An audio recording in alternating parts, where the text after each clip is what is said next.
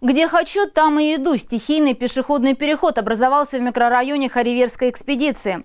Вопреки безопасному пересечению проезжей части, жители микрорайона протоптали свою дорожку. Тему продолжит Наталья Дуркина. Еще совсем недавно на этом участке дороги не было пешеходных переходов. Жители микрорайона и воспитанники Дворца спорта «Норд» выбирали условное место и переходили дорогу в неположенном участке трассы. И хоть знаки появились, привычка осталась.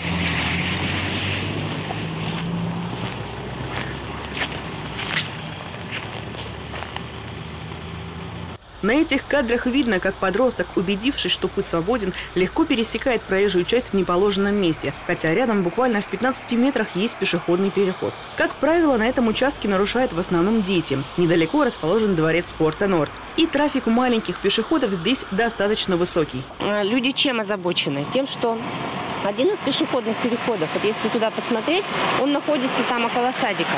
Второй пешеходный переход, который, по которому можно перейти, он здесь вроде не очень далеко, но вот это расстояние для людей кажется очень большим.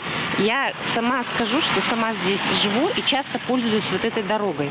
Поэтому э, как бы сама очевидец того, что люди не соблюдают правила дорожного движения и по тому переходу мало кто ходит, по тому переходу мало кто ходит. Все идут между. Галина Гуляева обращалась в городскую администрацию, а также в департамент строительства, ЖКХ, энергетики и транспорта Ненецкого округа. Там пояснили, все пешеходные переходы установлены с соблюдением общих стандартов. Однако это не умаляет потенциальной опасности, ведь не все жители соблюдают правила дорожного движения. Очень опасно переходить, потому что а, здесь заворот дороги, и любой автомобилист и любой, кто едет на машине, а, любой пешеход, он, в общем-то, опасности, потому что здесь вот ну, нельзя переходить. Но люди здесь делают это все время. И я вот хочу поднять этот вопрос по безопасности. Впрочем, установить пешеходный переход на этом участке вполне реально. Необходимо лишь подать обращение на имя собственника данной федеральной трассы. После будет создана специальная комиссия, которая рассмотрит целесообразность установки пешеходного перехода. Для того, чтобы установить пешеходный переход, заявителю необходимо обратиться в адрес ФКУ Упродор Прикамья. Именно это учреждение является собственником этой автомобильной дороги.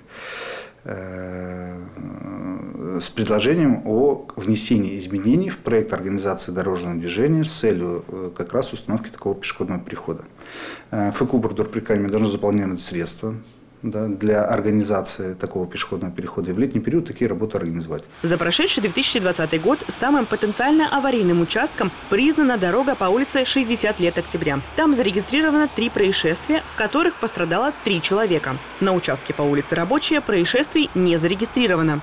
На федеральной дороге по улице Рабочая за 2020 год а, окружной госавтоинспекции не были зарегистрированы дорожно-транспортные происшествия, и, соответственно, данная дорога не является потенциально опасным участком. Однако это не означает, что опасность не смогут создать сами пешеходы. Необходимо помнить, пересечение дороги в необорудованном месте может повлечь за собой возможность дорожно-транспортного происшествия.